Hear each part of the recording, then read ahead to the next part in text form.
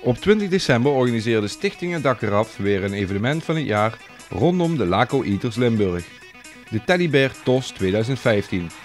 Op die dag vlogen de knuffels ons weer om de oren in Laco Glanenbroek. Ook dit jaar waren er weer beren aan te schaffen van Stichting Kika.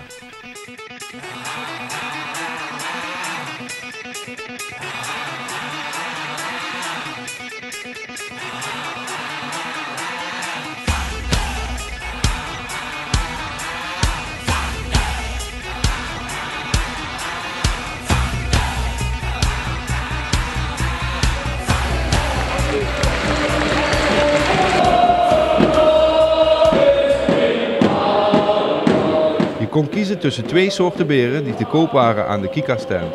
Dit geld gaat volledig naar Stichting Kika die dit weer gebruikt voor onderzoek naar kinderkanker en de pijnbestrijding van deze verschrikkelijke ziekte. Deze beren zullen uiteindelijk voor kerstmis worden verdeeld in de ziekenhuizen van Sittard-Geleen, Maastricht en Heerlen, zodat de kinderen die tijdens deze periode in het ziekenhuis moeten verblijven een lief vriendje erbij krijgen.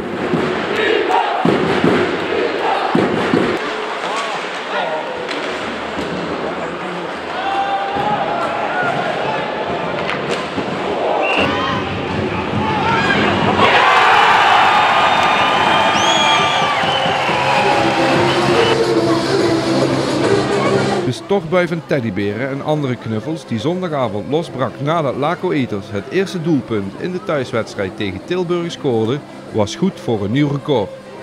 Bij de Teddybear Tos die eind 2014 werd gehouden, werden er 4579 beren op het ijs gegooid.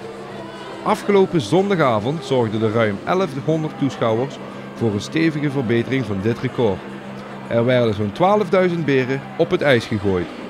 Vier bestelbusjes waren nodig om de massa's knuffels af te voeren.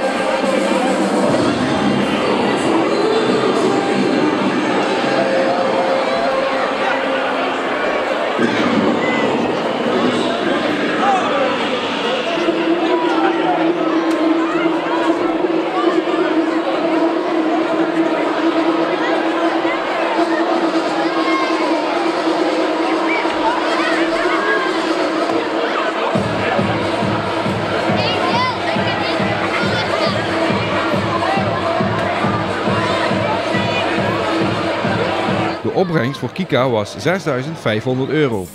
De volgende dag was de stichting Het Dak Eraf aangevuld met spelers van Laco Eaters weer vroeg op de been. Om de beren af te leveren bij de speelgoedbank De Grabbelton. Die ze op hun beurt verdeelt onder kinderen in de regio die het niet zo breed hebben.